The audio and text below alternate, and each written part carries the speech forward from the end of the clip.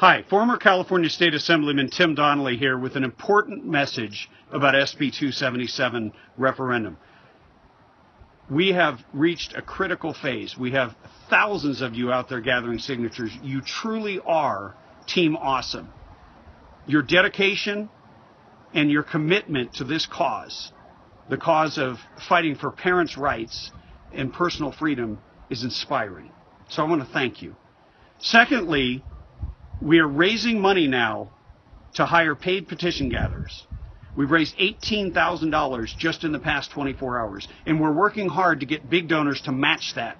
So every dollar that you can bring in is very likely to be doubled over the next 48 to 72 hours.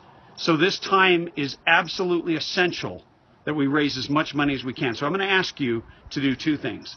Number one, donate if you can. And then number two, spread the word. Get it out there on social media, Facebook, Twitter, Instagram, whatever and wherever you can. And then ask people if they would donate, whatever they can. And just understand, together, we can do this. We can qualify SB 277. We have 29 days, so time is short. But with your help and the help of your friends and your network, we can do this.